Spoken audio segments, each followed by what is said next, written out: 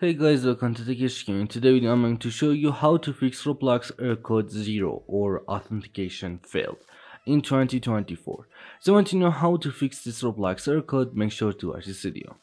So let's get started. Uh, for the first solution, first of all just go ahead and type uh, add or remove program on your search box and then click on add or remove programs wait for a few seconds and now just go ahead and type uh, Roblox player and right over here.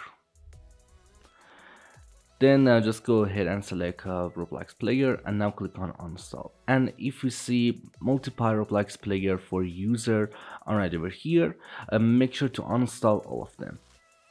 Uh, then just go ahead and type uh, run on search box.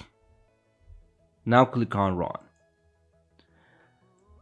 just go ahead and type app data on right over here and then click on OK. Now click on local.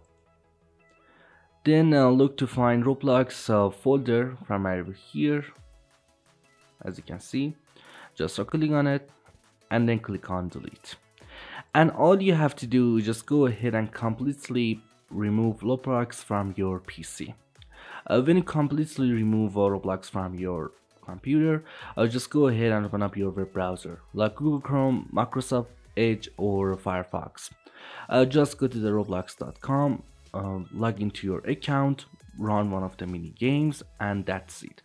Uh, it's too easy to reinstall Roblox on your PC. Uh, in most of the times it works. Just go ahead and reinstall Roblox. But if that didn't work uh, for the next solution, all you have to do is just go ahead and um, reboot your PC. Uh, so just go ahead and click on start, then click on power, and then click on restart. And also guys, you can fix this issue just by go ahead and um, update your Windows to the latest version.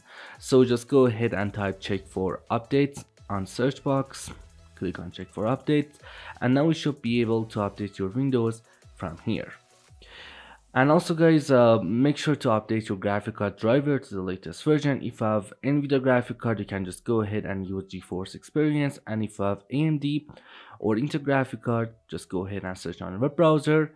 And uh, then you should be able to update your graphic card driver from amd or intel website. Anyway thanks for watching the video. I hope this video helped you to fix roblox uh, error code 0 or authentication failed in 2024, please go ahead and drop like on this video and subscribe my YouTube channel. Peace out.